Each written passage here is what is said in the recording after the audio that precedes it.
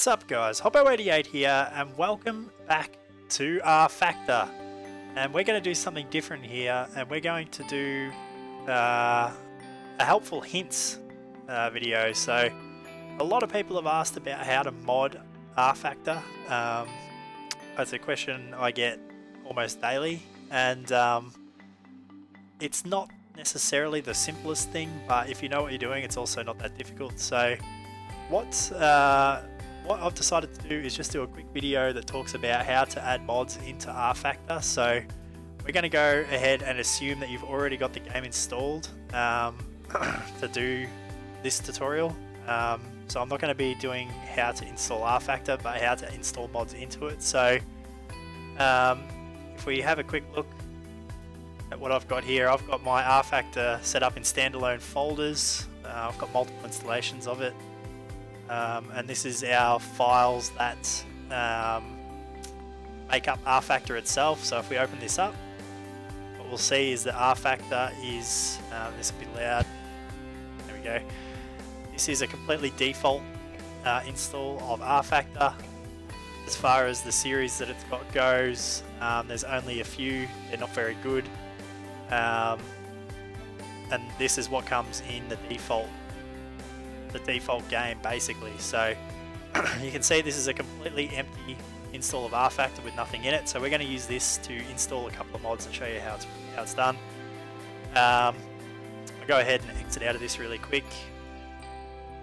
Um, so we're going to need this open. This is our this is the folder that rFactor is installed in. Now for me I've got them installed on a hard drive here. Um, standalone version of the game. You might not have it that way, you might have yours installed in Steam, in which case uh, to find the game files you just need to go to wherever you've got Steam installed.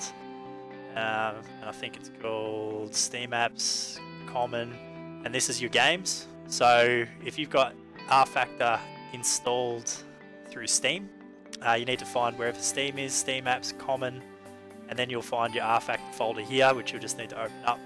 Should look the same as this here. Um, and I think, obviously, I don't have a Steam version of the game, but I think that it should be the same process for both. So um, hopefully it is, but I could be wrong about that. But um, either way, let's go ahead and install. Well, what we might do is we'll start with one of the Dirtworks Designs mods because that's what we use the most commonly. And when you download uh, Dirtworks Designs mod, you'll get uh, one of these uh, .exe files. So uh, this one here is the big blocks modified. So if we open that, um, what we'll get is a .exe that will open into an install wizard. Um, the process can vary depending on what uh, depending on what you want to do, but um, I personally like to do it this way. There are several ways to do it. So um, what you do is you get this install wizard and you're just going to follow the steps. You're going to go next. I agree to the terms and conditions. Uh, now you can see here um, you get this little browser um, pop up. Now there's two ways to do this. You can you can select the files where you want this to be installed, which in this case rFactor tutorials rFactor is the right spot. But um, I find that in, you know occasionally things will go into the wrong folder and um, they won't work. So personally, I prefer to go ahead and um, install these into uh, like a directory on the desktop or something, extract the files and then copy them across manually. So I'm going to show you how to do it that way. Uh, but obviously this comes down to personal preference. So I'm going to open these up. Um, if I go to the desktop, make a new folder, call it um, uh, DWD BB mods. Okay, let's go back and select that. Uh, there it is. Okay, so I've selected that folder. Um, that's actually on my desktop. It's okay. Uh, we'll go next uh, and go start. And what it will do is it will get a, um, whoops, uh, is it will get this extractor, extractor happening and it'll start extracting files. So uh, I'm just going to go across here and while this is happening in the background, bring up the directory where it's being installed to.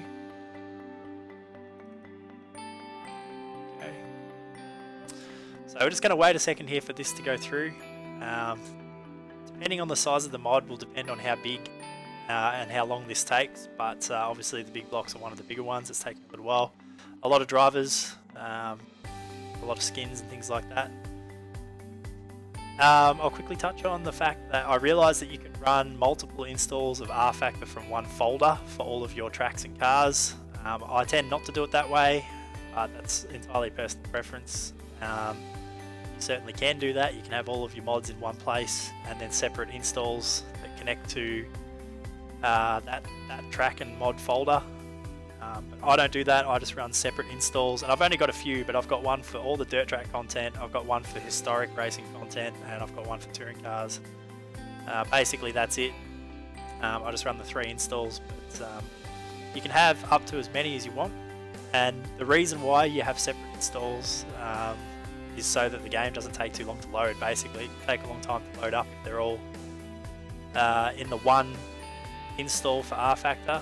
Um, the caveat to that is if you're on Steam, I don't do multiple installs, so you've got the Steam version of the game, you can only do uh, it all in the one place, but uh, I'm not too certain about that. I assume that that's the case, being that it's um, on Steam and I don't have that version of the game, but um, this is just ticking away.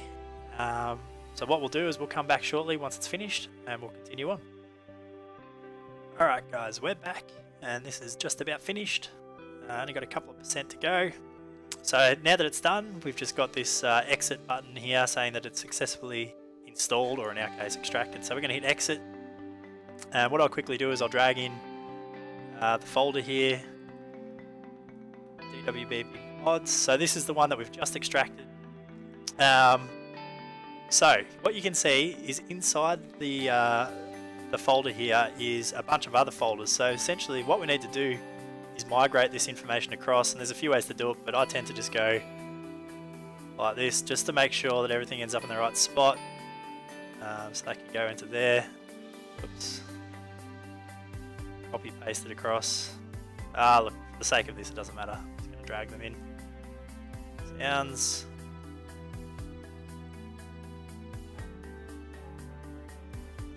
vehicles.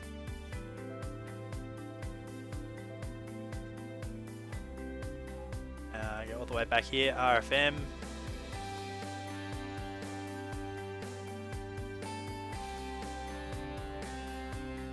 Uh, UI data.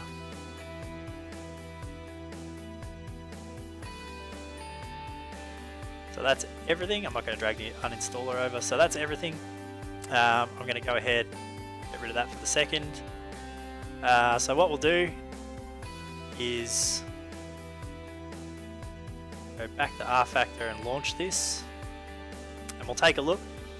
Hopefully we've got some big block modifieds. So there you go, you can see it's already grabbed that there's a uh, grabbed that there's a file, uh, a new install in there, and it's selected that as the mod.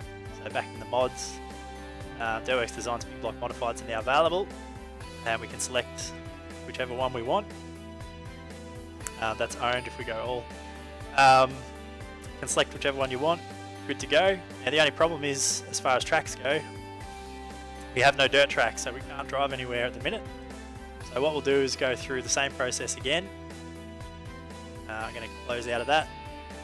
Uh, and we'll quickly go here and install the track pack, let's say 2016. And we'll open this.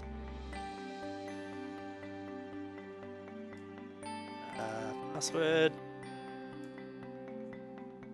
So here we go, same process. This is the extractor. I agree. Next. Now for the sake of trying to show you how this works, I'm going to try this. I think this is the right directory. So let's go next and start. This one's much quicker. Um, so we'll let that go through. Exit. Okay, let's go back now and see whether or not that installed in the right spot. We've still got our big block modified selected, so that's the start screen. And if we go here, Dirtworks Designs Tracks, there we go. So that's the two methods. Um, if we go ahead and select race, and make sure that that's working.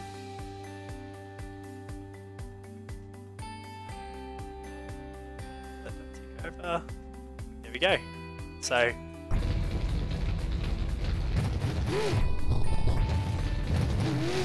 Big Block Modifieds at Knoxville. So as simple as that, all you need to do is just download the files um, from the Dirtworks design site to do that. Now the other thing that you might find from time to time is that uh, you end up having uh, files that are just RAR files or zip files or something like that that you get, things like this. Um, these are a bunch of tracks that I've downloaded in the past. Um, now they don't have installers. A lot of these are just um, just exe, uh, not exe files. They're just um, zip files and RAR files and stuff like that. So these these folders that I've extracted here are exactly that. So uh, let's say if we want uh, to have a run at uh, any of these, doesn't matter which one I want to install. Let's say uh, if we go in here, we've got all our ASL tracks. So uh, say we want to install uh, Premier Speedway.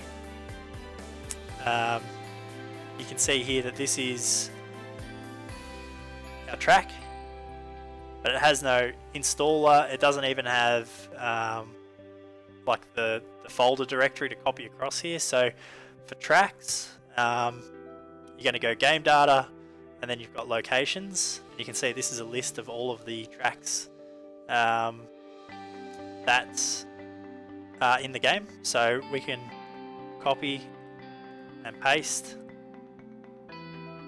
move that one across. What we should find is if we relaunch the game, uh, which I go back to here, to my exe file,